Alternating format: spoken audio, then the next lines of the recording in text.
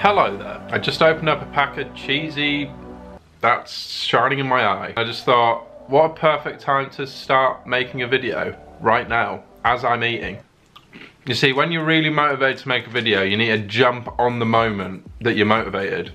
And I'm motivated right now as I'm eating crisps. And I'm motivated just as my camera's gonna run out of battery. So, okay, we're back now with a new battery. So let's hope there's no more issues with the creation of this video. We got about five seconds in. I don't really have a plan for this video. I know what I want to talk about, but I've not really planned it out at all. So it might just seem a bit haphazard. I get asked all the time how I became a model and how I got to the point of modeling that I've got to and like the whole process of that. So, so I've already kind of made a video about my modeling story, but that was a while ago and a lot's happened since then. And since the Louis Vuitton fragrance came out, I've been getting this question a lot more. What I wanted to do today is talk about some of like the moments in my career that I thought were like vital or important to getting to where I am now.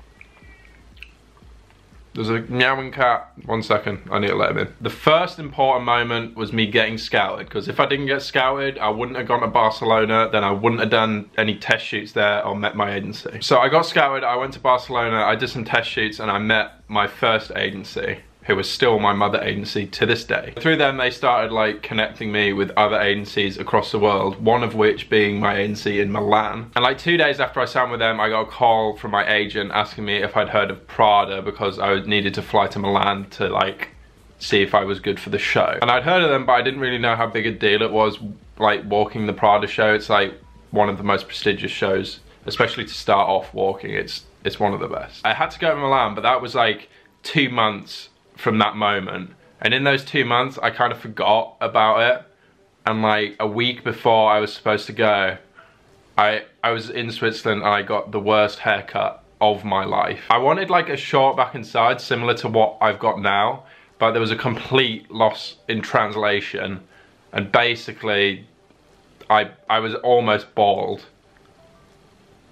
I was almost bald. And then I turned up for like the fittings and the hair and makeup test for the Prada show and I'm like, what has happened to you? so yeah, I didn't end up walking that show, which happened to be the Women's Fashion Week one, but they said that I could walk the next show, which was the Men's Fashion Week one, which so overall I think that was probably better for my career. So yeah, fast forward like three months, I walked the Prada show, it was fantastic, I was absolutely bricking it. So after that, I was told I needed to go to Paris to do the Fashion Week there, which was weird. So I went and it ended up being like an immensely successful fashion week. I did like eight shows, one of which being Louis Vuitton, which I opened the show and I closed the show, which was insane. So I think that was like the start of my great relationship with Louis Vuitton because straight after that, I ended up doing the Louis Vuitton campaign, which was also insane. So yeah, my first ever season, I ended up opening and closing the Louis Vuitton show and then doing the Louis Vuitton campaign.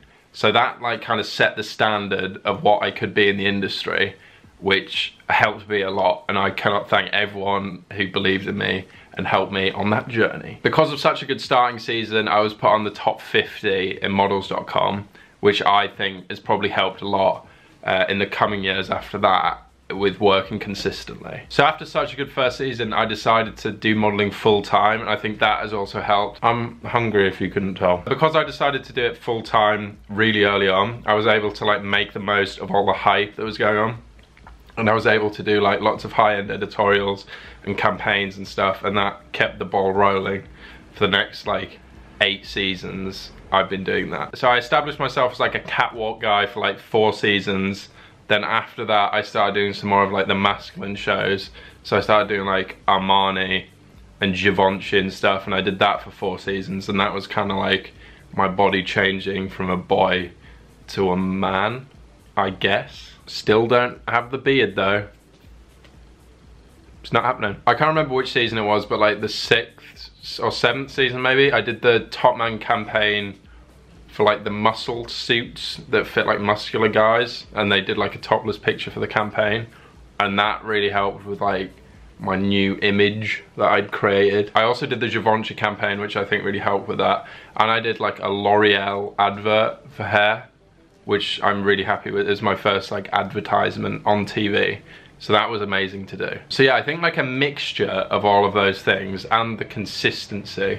A lot of activity outside, which all led up to the big moment the Louis Vuitton fragrance. So I found out about it while I was in LA for a while. I was just in LA working, having some fun, and then I got a call. I knew I had an option for a Louis Vuitton job, but they didn't tell me what it was. I just thought it was like a, a smaller thing for like the, the in-house magazine or something. That's what they told me. So I didn't really think much of it. I was just like waiting to hear if I had to fly back to Europe or not because I was in LA. So I got a call from my agent and it wasn't just my booker, the guy that looks after me. It was like everyone in the agency was on the phone and that doesn't usually happen. I was like, hi guys, what's going on? So my booker was like, are you sitting down? I was like, I'll sit down if I need to, why?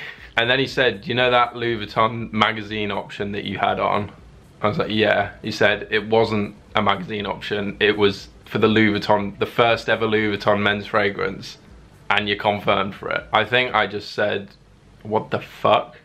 So yeah, that's probably the best surprise I've had in my life. I think they didn't tell me when I was on option for it because it's like a confidentiality contract and if they did tell me, I probably would have been freaking out and like I'd be really disappointed if I didn't get confirmed for it. Do you know what I mean? So yeah, that's about it. It's been a wild ride to this moment, but we're here and we're living in it and there's lots of exciting stuff happening, which I'll tell you about in another video when it happens but it's happening. I was quite apprehensive to make this video because I know it sounds like I'm just bragging about the accomplishments I've had in work but I've been asked about it a lot and I thought it might be an interesting video for some people. Thank you for listening to me ramble on. I didn't have a plan. Usually I like kind of plan out what I want to say but I just kind of let the let the mouth do the the talk. What? You see, this is why I need a plan. If you like these videos where I just sit down and kind of tell a story that I found amusing, hit the like button, I might make more of them. Because I got a lot of crazy stories that I probably need to get off my mind at some point. Share this video with your friends, have a lovely day, and I will see you next time.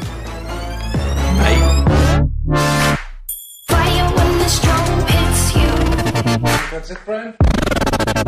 Yes.